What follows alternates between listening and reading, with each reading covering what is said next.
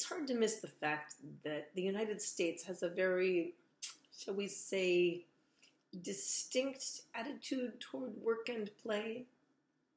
Messed up might be another way of putting it. It just seems to me that our cultural assumption is that everyone is supposed to be working all the time. Everyone is supposed to be overworked and stressed and striving. And if you ask someone how they're doing, they're kind of supposed to say, oh, you know, really busy. And I wonder where that comes from. It seems to be universally true, whether you're a high paid executive or somebody who's scrambling to put together three jobs, or whether you're trying to manage a not for profit, or if you're striving for maximum profit, all the way around, everyone is striving and struggling and working so hard. And you sort of have to wonder why. I mean, I'm as happy as the next person to blame late stage capitalism, but even that has to come from somewhere, from some deep cultural assumption of the way things have to be. And so I wonder what takes us there. And one possible answer, one deeply, deeply rooted story is the Bible, is the story of the very beginning. The creation story in the second chapter of Genesis in the Hebrew Bible talks about God making everything out of the earth, including Adam, and making Eve out of Adam's rib. And you know the whole story of the forbidden fruit in the garden that Eve eats of and shares with Adam, and everything kind of goes to hell in a handbasket. And the consequence, the punishment that is given for this very first act of disobedience to God is that Adam is given a life of toil, of sweat, no longer will they be able to just wander around doing whatever they please, eating presumably nutritionally complete fruit off of perfect trees. Now Adam is consigned to work by the sweat of his brow, to toil. The Bible says, By the sweat of your brow you will eat your food until you return to the dust, since from it you were taken for dust you are, and to dust you will return. That's it. Work all of your born days until you die and return to dirt.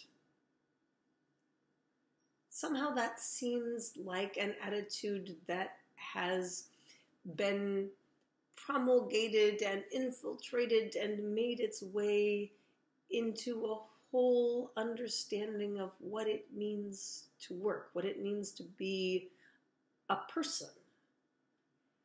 But the thing is, that's not the only creation story. There are two creation stories. And Rosh Hashanah, the Jewish New Year, is a celebration of the universe's birthday, the world's birthday. It's a birthday that is marked by this first chapter creation story. And the creation story of the first chapter of Genesis is one I'm sure you know, and it has a very different take on what it means to work and to play. In the first chapter of Genesis, God undertakes the work of creation.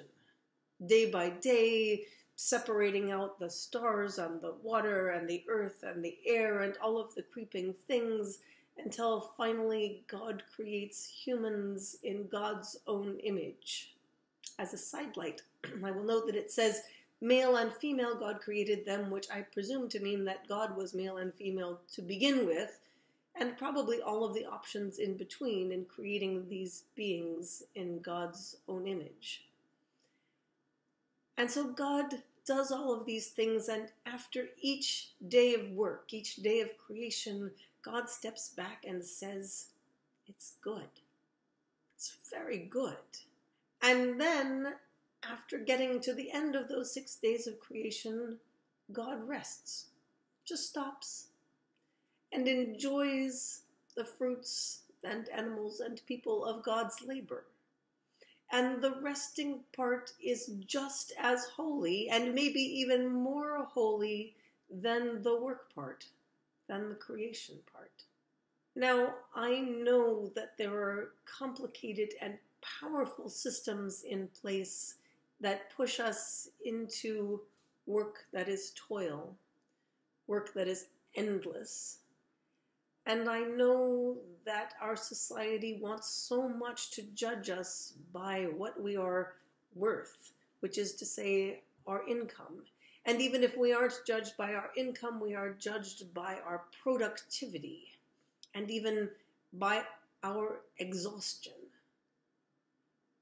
But what if, even in bits, even in pieces, even in moments, we found our way into a first chapter creation story of work, a vision of work as creation, of work as something that you can step back and honor as good, and something that you can step back and honor as complete, something that you could just stop doing. In the Jewish tradition, there is the Sabbath, which is the holiest of the Jewish holidays. Not the high holy days, Yom Kippur, the Day of Atonement. The holiest of the Jewish holidays comes every week, and it is the Sabbath, the day of rest, of recreation, which is recreation, recreating ourselves rededicating ourselves to things that are not toil, that are not dust. Taking a breath, enjoying things that renew us.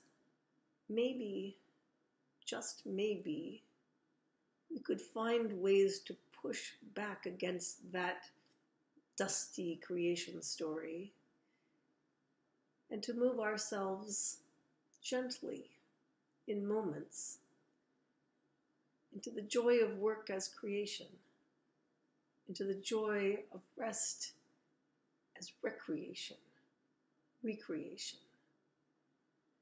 pausing to play our way into readiness to create once again.